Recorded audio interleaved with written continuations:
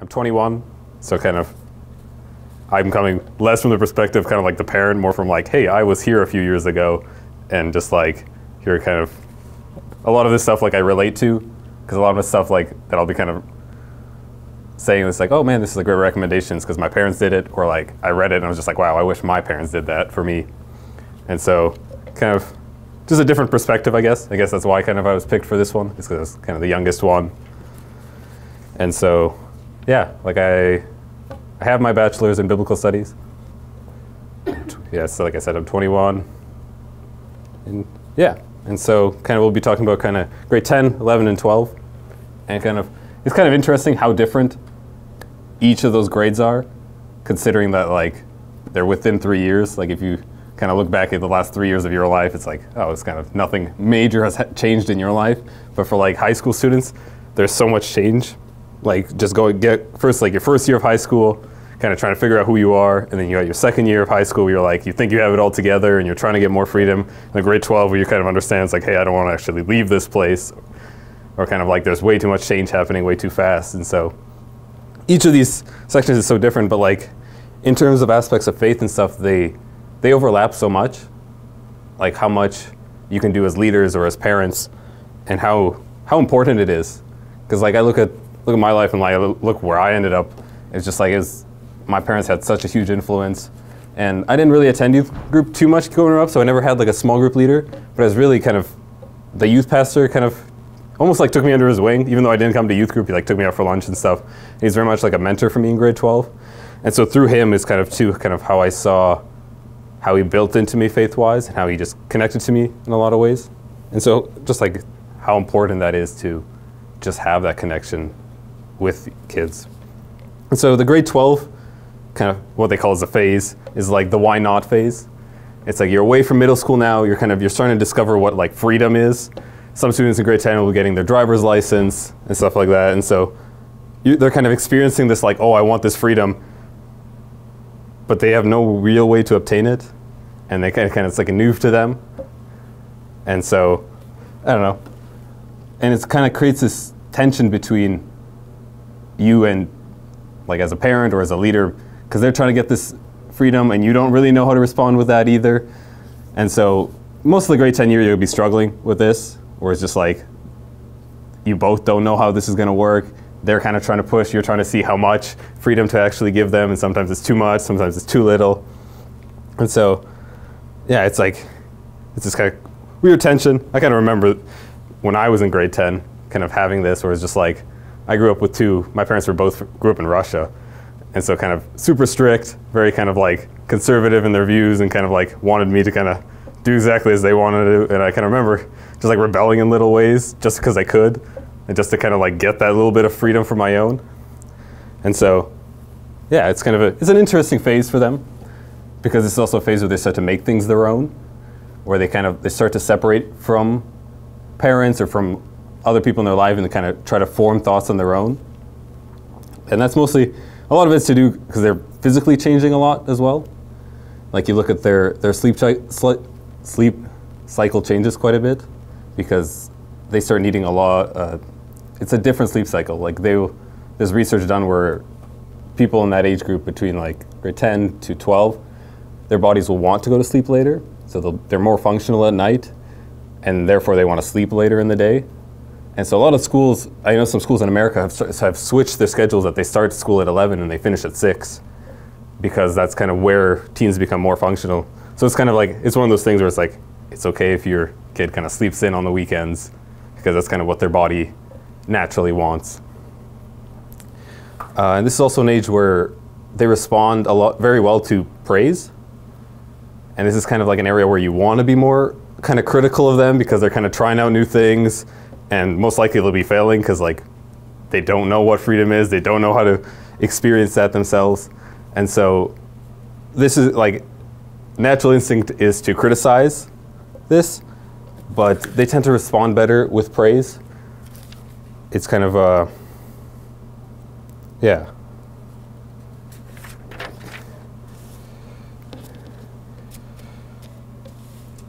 And so it's important like parents you'll see that uh, your well, the grade 10s will tend to draw away from you and more closer to their leaders within like youth or within school. And that's mostly because they're trying to kind of get more of that freedom where you've been kind of their main leader at that. And so they're like, oh, I need something, like I want something of my own, something of my own. And so tend to draw more towards their leaders. And so kind of you'll have to kind of anticipate that, whether it's like it's not something you've done, it's kind of like them trying to get more of that freedom. And to leaders too, it's like you have to work with parents on that. Where it's just like sometimes kids will pull so far away from their parents where it's just like the leader basically becomes their parent. And so there's kind of danger in that where you kind of have to sometimes bring them back to their parents, like, hey, your parents aren't like the bad guys in your life. Because oftentimes that could happen if a parent is too overbearing and too controlling. But it's also kind of, it's a balance and kind of, I think that's what our lives are about, is just finding balances in different things. And so, yeah, and with this kind of, as they kind of try to separate, you'll find them um, challenging you in areas because they're kind of starting to think for themselves. And so they'll kind of, they'll start to question everything. And so, kind of important thing to remember is that they're kind of, they're not, they're not challenging you kind of for like who you are, kind of your values, but more like why do we do this? And kind of they're actually looking for more than just like just because, because this this these three years is called uh, they call it they think like philosophers almost, where they kind of they want they call it the philosophy stage because they want to be part of the process and not just like uh, like uh, just just there for the ride. They want to be kind of involved. That's why they kind of this this is why this is will kind of come up where it's just like, well, why not? Like, why do we do this? Why this? Why this? It's because they kind of they're trying to involve themselves more as they kind of mature, and so, but the yeah, and so it's kind of like a it's not a bad thing if they start asking a lot of questions where it kind of seems like they're challenging you. And so, but you, they still need boundaries but it has to be kind of boundaries that make sense in their perspective. And so a lot of a lot of this stuff you'll kind of have to either kind of like debate with them or kind of explain things a lot more to them versus when they were kids, where it's just like, oh, it just goes because it is. They kind of need reason and explanation for that. And kind of for grade for grade tens, like a lot of a lot of these ideas will kind of overlap sometimes. But your main idea is, is to just mobilize their potential because kind of as they're kind of starting to kind of bloom and become their own, it's kind of your, you don't want to push them, but you kind of want to guide them into who they're becoming.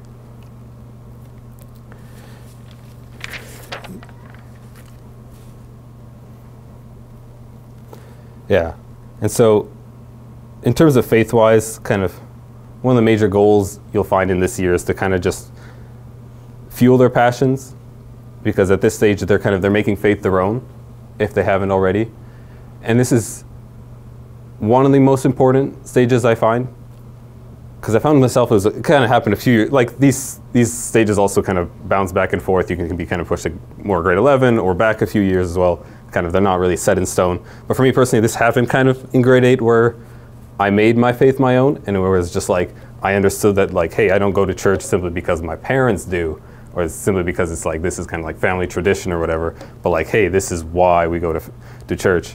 And even though kind of like youth group can teach you all that, where it's just like this is why you go to church. There's kind of there's no kind of connection between what Christianity looks like in church and what it looks like in your life.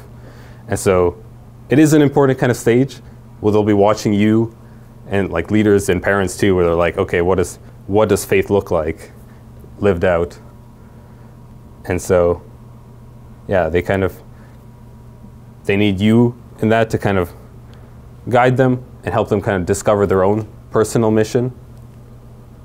And so, kind of like, yeah, that kind of builds on the question like the last, why should I believe? And so, you have to kind of stay engaged in their personal faith journey by kind of by having conversations at home. Like I remember, I distinctly remember this shift that my father kind of did. He worked a lot. He worked like 16-hour days some days, and like all I saw him was in the morning and sometimes at night. And he made it a specific point to get home at dinner time every day, have dinner together, and then before we went, we always prayed together and had devos. And I remember that kind of growing up, even like as I got into grade 10, 11, 12, we still did that as a family. And it was just like, kind of, I look back into that and it's just like, that's what kind of showed me priorities for my dad. Because he took his time, took whatever money he could have been making or whatever, and he kind of came home and was just like, no, no, Devos are important. Like, no matter what, we prayed together, we did Devos. Like, even if people were tired, we'd do them earlier.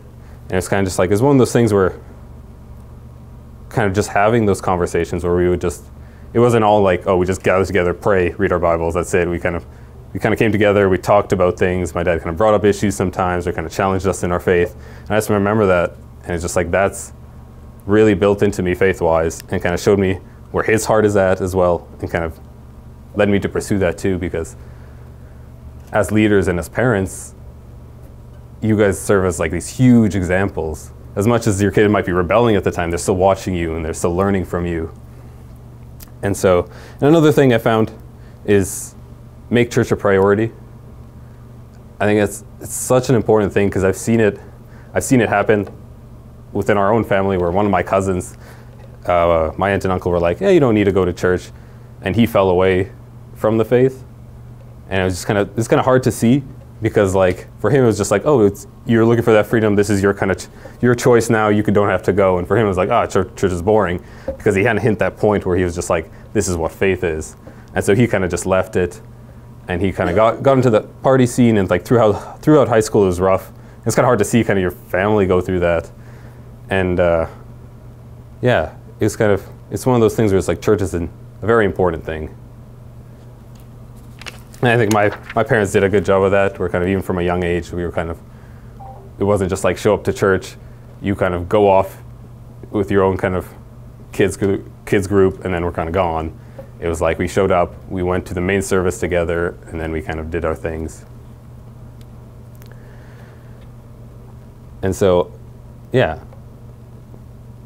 they kind of want you to connect on a personal level. They want to see your faith, and kind of they want they want to talk about their stuff too. Because like as they discover it, and as they kind of make it their own, some like cool question to ask them is like, "What has God been teaching you?"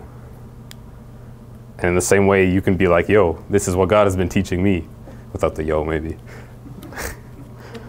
and it is okay at this stage to say like, or at any stage to say, "I don't know." Like if a question comes up and it's like, "I don't know," But at that point, it kind of it applies to all the stages where it's like if you don't know, kind of find out. Show them, show your kids that, or that it is a priority for you to kind of find those answers and for you to grow yourself. And then, yeah, for you, for you too, it's important to be connected to a faith community. If you're coming to church, to be in a small group and to kind of be growing yourselves, because it might not be like a visible to you thing, but to your kids who have been watching you since they were babies and you kind of are the, the greatest influence on their lives, it's kind of very obvious to them. Yeah, so then grade 11. So grade 11 tends to be incredibly busy for them because yeah, they tend to take a lot, on a lot of classes, extracurricular activities, and it's kind of just like that point where they're not worrying about the future most of the time.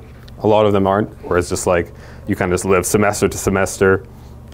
And it's kind of, it's a, they call it just trust me phase, where they'll kind of be going out, doing things themselves, and they kind of just want you to trust them.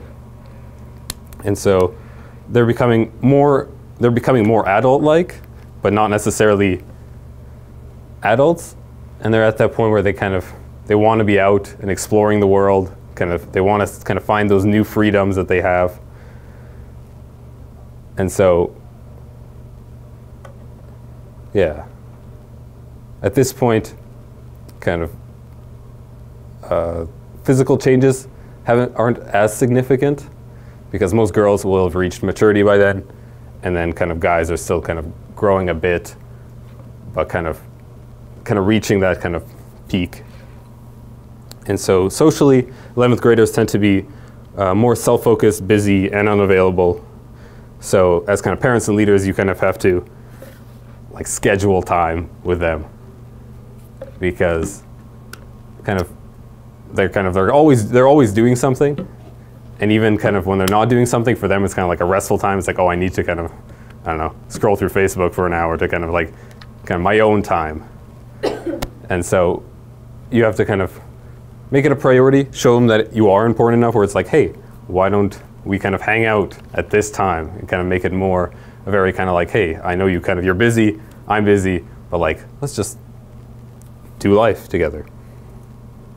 And so, like I said, they kind of they struggle with uh, long-term thinking, and so you guys can come alongside them and kind of help them kind of what what planning, what scheduling looks like. Because at this point, they've kind of been given a lot of options, and it's like, oh hey, you can do this, this, and this, and they go like yes, and they kind of start doing everything, but like their minds haven't developed enough where they're kind of able to kind of think that long term, where it's just like, oh, what's going to happen to me in two months when everything kind of starts, exams hit, and I'm doing this, this, and this. And so it can be quite a stressful time for them. And so it's like you can kind of come alongside them and guide them through this. Or if you're yourself aren't good at that, you can kind of guide them towards someone else. And so grade 11s will tend to surprise you quite a bit because like in grade 10 they're kind of they're fighting these freedoms and kind of wanting to pull away. And so in grade 11 they kind of they pull away and they start to develop in their own way where kind of they they tend to just accomplish things. Like they'll fill the calendar, and you'll be like, "Oh, there's no way they can do that," and then they go out and they do it. And an important thing to find in this stage is that when they do kind of impress you, or they kind of like they do something cool, is to encourage them. Because a push in the right direction tends to be kind of all you need sometimes. Like I remember in my my grade 12 year, uh, my, I went on a missions experience with my youth pastor to Mexico. And like he just put me in kind of like this position of leadership where I was kind of teaching some youth something from the Bible. And I think afterwards he come, came up to me, he's like, wow, like you're, you're, that was great. Like you're good at teaching. And like, that has stuck in my mind through Bible college and everything I was going through. And I was just like, dang, that like one encouragement was just like, you're good at teaching. I was just like, am I really good at teaching? And it's like, I couldn't get it out of my mind because it's just like, he was such a prominent figure in my life, and he said it in such a way where I was just like, man, maybe I am. And that's kind of, it led me here, basically, where it's just like, I kind of kept going through it, and it was just like, that kind of encouragement kind of pushes, pushes them towards what they're good at, because oftentimes they're doing so much they can't really, and they don't have that kind of like self self focus sometimes to kind of be able to like, oh, this is what I'm actually good at. And they kind of need someone to come alongside them and help them in that direction. And so, so yeah, with this with this age as well, it's like you're mobilizing potential. Like they're still growing, they're still kind of taking on a lot, but kind of as as they kind of go through high school, kind of your your time periods kind of shrink with them, because either they're kind of trying to become their own person, they're taking on a lot of stuff, and then grade 12 is like they're graduating they're starting to look for job opportunities or schools and stuff. And it's like your time periods shrink. And so it is important to kind of to be involved during those times. Yeah, and so yeah, grade 11s, they love to do things. They want to do something like right away. And so that that's kind of important thing to remember is that they're not thinking long term. For them, it's just like like they want they want things to happen right away and they're not thinking like oh like i'll invest into this this will happen three months later. And like even though you like we well i can't say we because i'm not that old but like as you as you get older you kind of that's how you start thinking. You start thinking more long term but for grade 11s it's not like that. They kind of they like to jump on opportunities right away.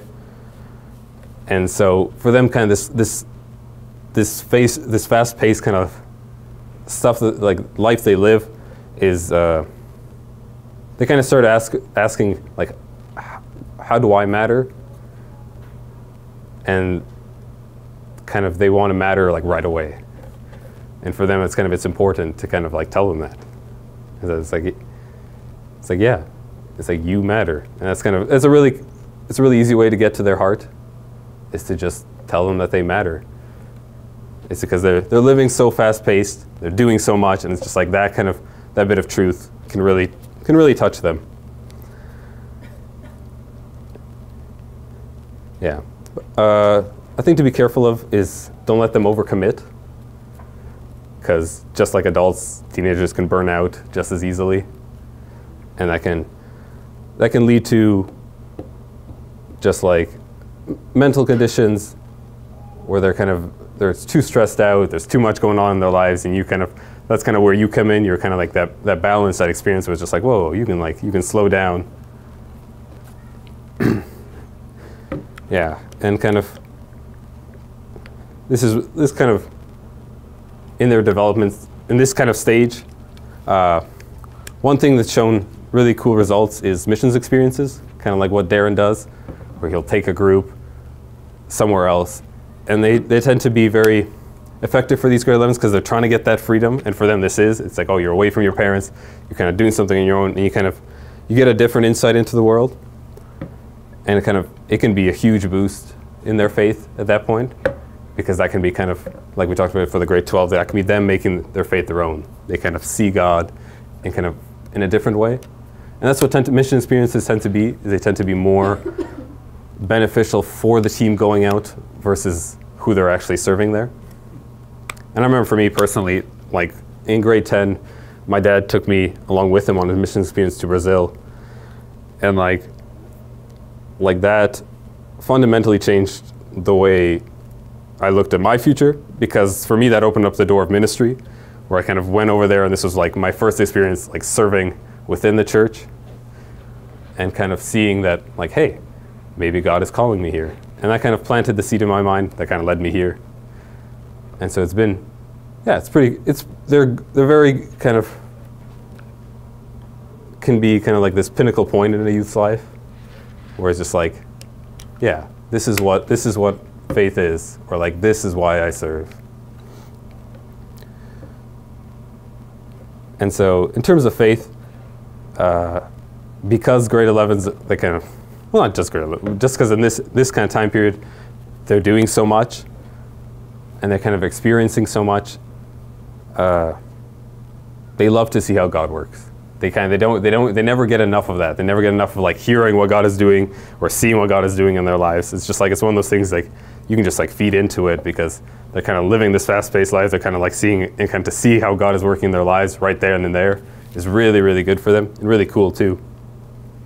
And so, and just like grade tens, it's like make church a priority, but don't let it be the only place where they kind of hear the Bible and Jesus because you and your actions are just fundamental to how their faith develops. Because like I, I saw in an illustration once in a sermon where it's just like this man had ping pong balls to represent how much time the church had with your with your kids throughout their entire lifespan, and it was like 300 ping pong balls represent what the church had. And then he looked over to the other one, and it was like 4,500 ping pong balls stacked in this tube, and that's like how much time a parent has with their kids. And it's like, I saw some, some like I've done some some research on why young adults leave the church, and kind of what helps with them kind of finding a church or staying in the faith after they kind of graduate and move on. And the biggest one was the involvement of parents and leaders in their lives, of having someone that mentors them, kind of walks beside them, and that just like I think it was boosted their chances of remaining within the church by 30%. And so just not letting just the church do the work for you is important. It's kind of having that connection outside as well. And kind of the same the same questions apply. It's like what has God been teaching you? You can ask them. Because as much as they love seeing how God works, they love to talk about it as well sometimes. And so it's important to kind of ask them where they are faith wise, but also kind of tell them where you are faith wise. Because monkey see, monkey do, and kind of high, high school students. And then, yeah, and then grade 12. This is kind of a crazy part in their lives. And so they're asking the question, what's next? Grade 12 is coming up, graduation. Some of them don't have plans this can be incredibly stressful, incredibly scary for them. And so you might be thinking like, yes, I made it. They're going to move out next year. Like I'm done. And that could be kind of the exact opposite actually because as as they kind of reach kind of that closer that graduation period where they know they're moving away, they they'll tend to turn back to you. They'll tend to kind of be like, "Oh no, I'm about to lose this," and so it's kind of it's kind of this weird stage in their lives where they're they haven't fully developed into an adult, but they're getting to that point where they're like, "Oh man, I'm gonna have to be like self-sufficient." So even after they kind of graduate and move away, they'll tend to want to be more connected. They'll ask you for help for stuff, and so it is a cool it is a cool part in their lives because they're kind of starting to kind of make those next steps, kind of start to make plans, start to act like more like adults. But uh, but as graduation approaches, they kind of realize that their their days of childhood are numbered, and they'll tend to draw closer to you. Or they'll be so busy that they don't even notice, and then it kind of just hits them, and it's like, oh no.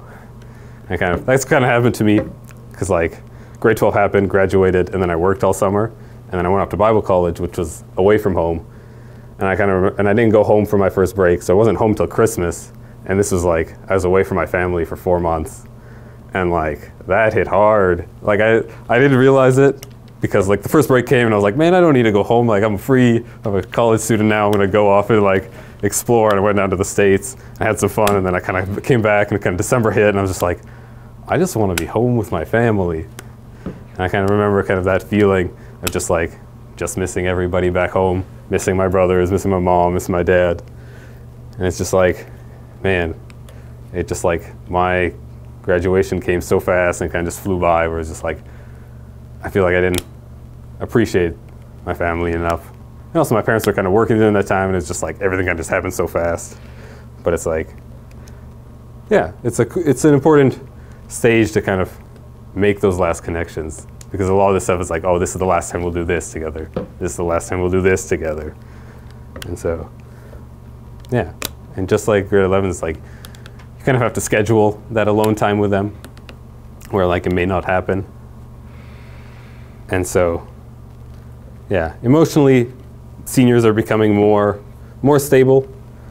They kind of they value being true to themselves and kind of, yeah, one way to kind of specifically connect with them is just to show interest in them and what they like.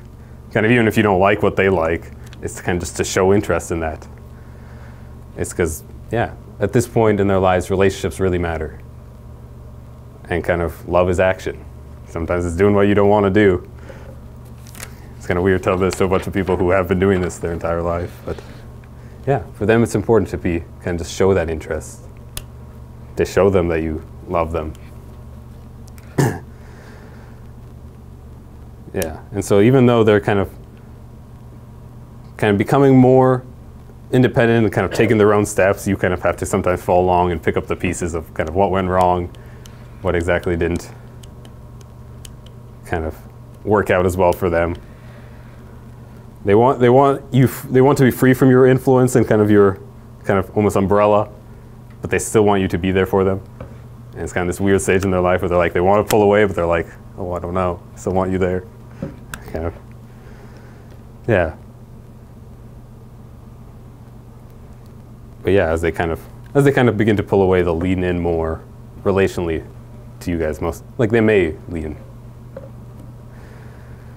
And so yeah, just to kind of remember that these last those last I think it's like 52 weeks can yeah can have more influence in their lives than a lot of things and kind of just because they're kind of starting a path towards what who they will become as adults and so just like the other ones it's like you got to mobilize their potential I feel like I'm repeating myself a lot but yeah it's so important to kind of for them it's kind of just like just just as fast paced again, and they some of them don't know what they're doing. Like I remember in my grade 12 year, I was just like, I'm going into engineering, and that was my plan all along. And then I did calculus in my second semester, and I was like, nope, not doing engineering. Can't do this for the rest of my life. I also talked to some engineers. They're like, yeah, we just sit in office all day and do this. It's awesome. I'm like, nope. I'm gonna, gonna go off to Bible college. And it was just like this weird. It was almost felt like a crisis in my life because the way I think is like, oh, I gotta have a plan and it's just like that kind of crumbled in my hands and it kind of was my own doing too and so yeah it can it can kind of be a crisis for youth like yeah, it's exciting. It's kind of it's a huge accomplishment, but there's like huge change coming, and yeah, they're most likely not convinced that they're ready, and they probably aren't, and so kind of it's your job to kind of kind of guide them through this, kind of mobilize them, and kind of show them exactly. They're like, hey, like you'll be okay, and then to kind of just prepare them for what's coming. Yeah, they kind of, in the same way, kind of this kind of group, they want to feel part of the process, kind of like with your family and stuff that happens is kind of they move on in their lives. They kind of want to know what happens, why.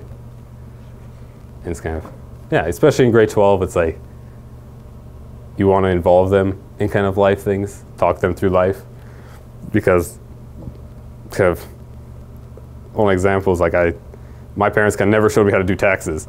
And you kind of, I worked my first job after college and I was just like, oh, I got no idea what to do with this. And it's kind of just like, it's one of the things it's like, oh man, I wish my dad would have just sat down and kind of showed me how to do this. And so, yeah.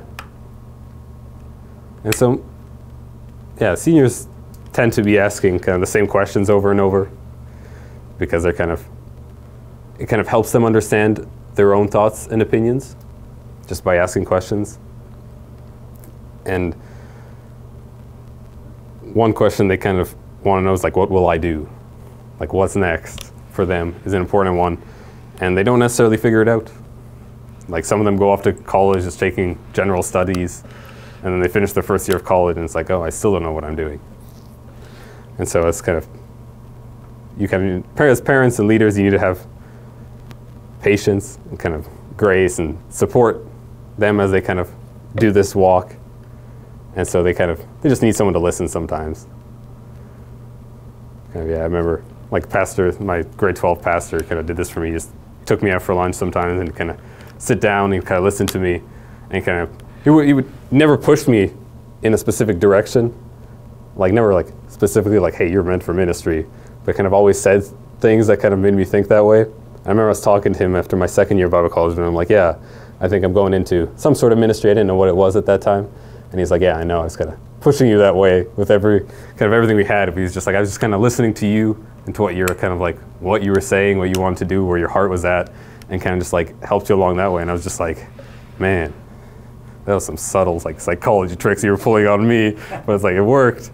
And I was just like, it was so cool because like, he basically just listened to what I had to say and kind of guided me through that.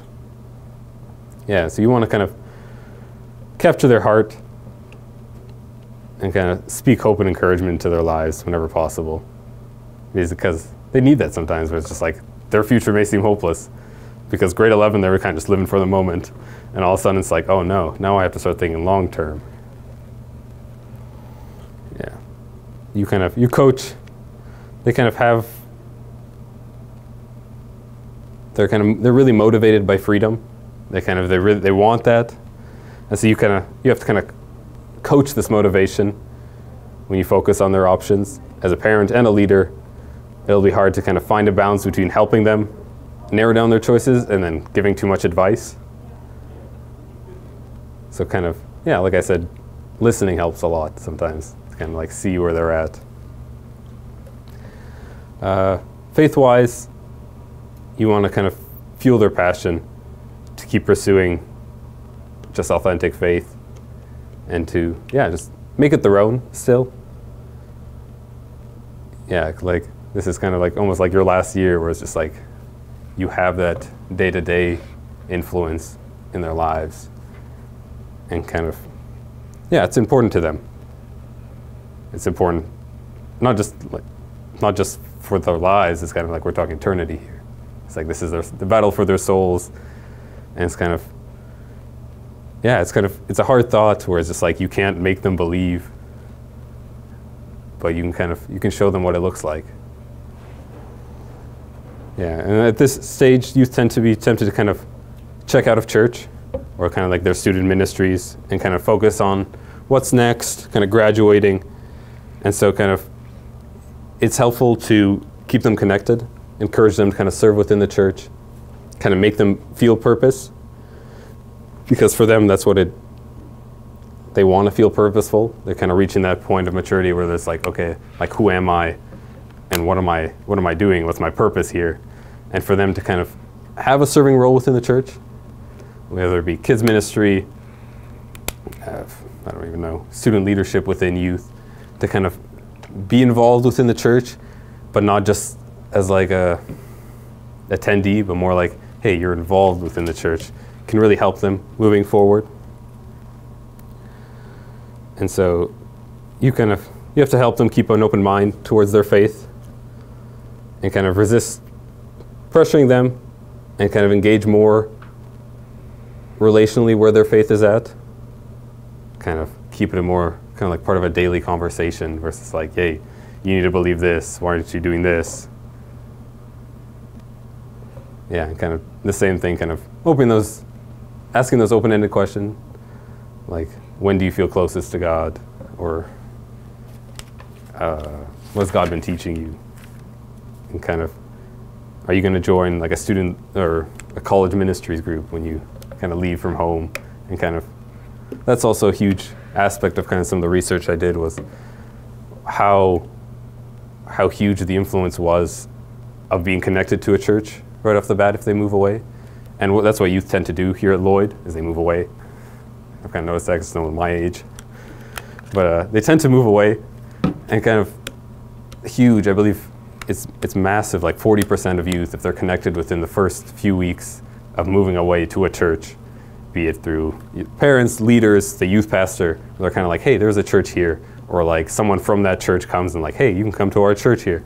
Can, it's like astronomical because uh, youth these days tend to be very kind of socially anxious, meeting new people, going out and kind of into new environments. And for them, it already, is a new environment. They moved away from home and to kind of experience that another one is kind of it's hard for them. And so, kind of having that kind of connection from back home, kind of setting them up or kind of kind of guiding them towards the church can be very very helpful.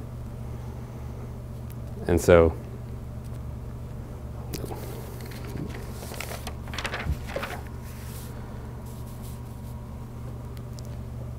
But yeah, they also they in grade 12 you really kind of start to because you've kind of the way you've kind of started to develop into adulthood you really appreciate authenticity and just being around people who are real. And that's why kind of youth leaders have such a major role within youth ministries and especially within within our youth ministry here at this church it's very relationally based. And they kind of get to see kind of through their leaders kind of faith and they kind of have someone who's specifically there to kind of guide them through their faith journey. But like, yeah, being authentic, who you are, and kind of what you believe in with them can be huge in their kind of development. Yeah, this kind of it flies by. Like I kind of I was kind of preparing for this, and I was kind of reading up on some of the stuff and th really thinking about it. I'm like, man, I can kind of grade 10, 11, 12 is just like a blur of what happened sometimes. But like so much of that played an effect in who I became and where I ended up. And kind of, yeah, even though I didn't have a huge influence from within the church, my parents made it a very kind of an important aspect of our lives. For me and my, I can see it in my brothers too. They're kind of, my, I have a brother in grade 11 and grade 12. So they're kind of hitting that point where I'm like, I know exactly what you're going through. You want to get away from home. You want to experience that freedom. Because our well yeah our dad is very strict. We all agree on that. And so we're just like freedom. And i'm like yeah you guys are going to get your four months of freedom and you're going to be you're going to be right back home and you're going to you're going to love it because this because family is so important. And so yeah. Does anybody have any questions